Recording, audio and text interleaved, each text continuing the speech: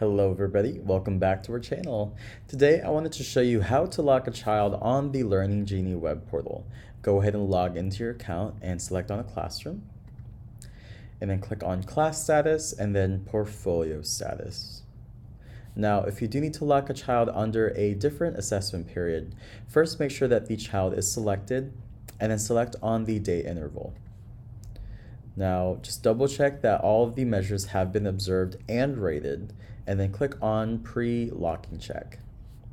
Now, this page is great because you are able to view their attributes, and if you are missing any attributes, they will be indicated here, and you can go ahead and update by clicking on this button.